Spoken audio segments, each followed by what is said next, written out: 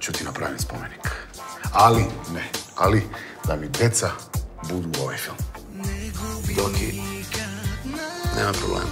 Premijera Michael, spomenik Michaelu Jacksonu, našeg novog filma koji će Beograd imati prilike da vidi od 29. oktobra, tada će biti premijera i od 1. novembra će biti u bioskopu. Svetsku premijeru spomenik Michael Jacksonu je imao u Karlovim Varima. Zaista smo imali onako ne, neverovatan uspeh i to bilo nam je onako zaista zadovoljstvo kako je češka publika primila naš film. Ljubinka, stani da popričam.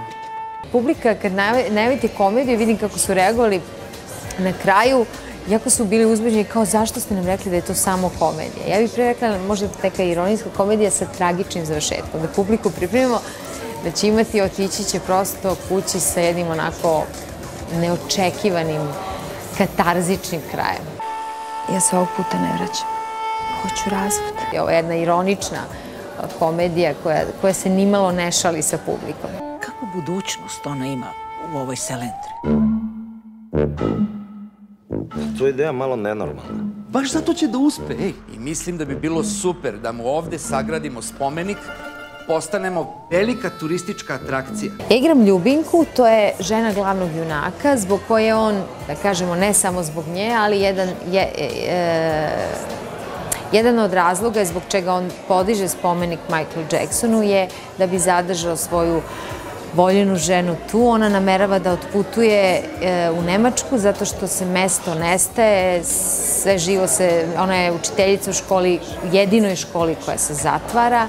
Ono što nju čini posebno je u stvari to zašto je odabrala Marka za svog životnog saputnika. Marko je jedan sanjar, uh, utopista. E, to nju određuje, zato je ona posebna. I zaista, kroz tu ljubav, tu imate kao jedan prateći tok radnje, ta njihova ljubav koje, koju smo, baš smo se trudili da E, vrlo, vrlo decentnim sredstvima, ma, da kažem, svedenim sredstvima ovaj, prikažemo.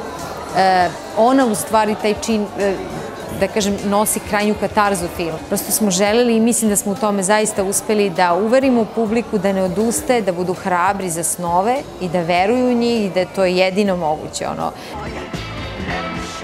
Ti prestaneš da provociraš. Kako ja provociram? Ti provociraš ovaj narod s tim tvojim spomenikom.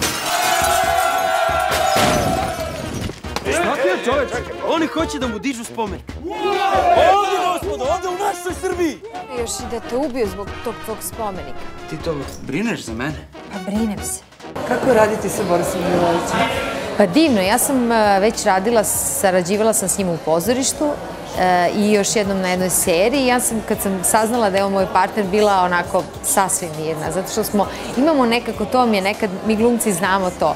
Znate, radite s nekim i, i odmah se prepoznate. On je jako, meni bar odgovara, kao partner, glumac, kolega, zaista ja volim njegovu, njegovu vrstu, kako on e, tumači karaktere, kako on bira sredstva i zaista smo jako dobro sređivali. Doki, napravio si ga svaka ti čast.